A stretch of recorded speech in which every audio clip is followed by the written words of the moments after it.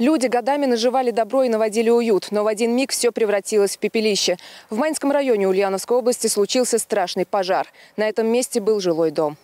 Шесть жилых домов сгорели дотла. Кроме того, по подсчетам главы Майнского района, огонь успел уничтожить 5 гаражей, 9 бань и 17 надворных построек. Погорельцы еще только приходят в себя. У Елены Лебедевой огонь уничтожил дом ее мамы. Елена увидела клубы дыма с окраины, когда находилась в центре поселка. Худшие опасения подтвердились во время телефонного звонка. Я увидела дым, позвонила маме. Я живу в центре, она живет в лесокомбинате. Ну, такой поселочек у нас небольшой.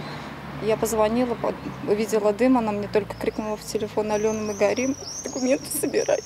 И уходит. И все, и я на такси приехала быстренько туда. Но ну, пока я ехала, уже дом весь сгорел. Ее она у меня дома лежит, но у нее давление, конечно.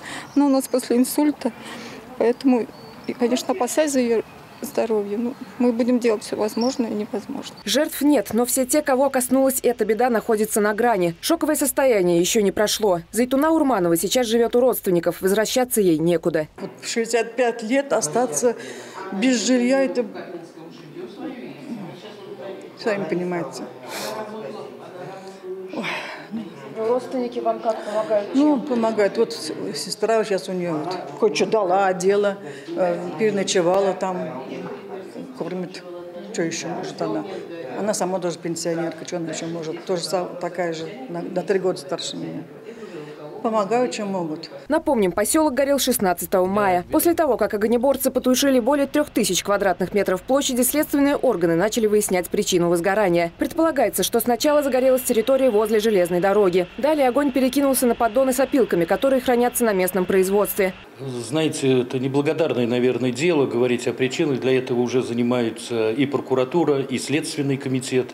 Вот. Но есть такие догадки, потому что буквально вчера в одно и то же время а вдоль железной дороги сначала было два пожара, потом сегодня уже прокуратуре я говорил, еще два пожара. То есть в одно время вдоль железной дороги произошло четыре пожара. Наша съемочная группа побывала на сгоревшем комбинате. Пламя здесь полыхало еще недавно. Раскаленная земля еще дымится, все постройки покорежены. Напомним, эти корпуса загорелись первыми. Сначала загорелся местный лесокомбинат, затем огонь распространился на ближайшие жилые дома. Несколько семей осталось без крова. Здесь и сейчас работать очень сложно, потому что стоит едкий запах гари и дым столбом.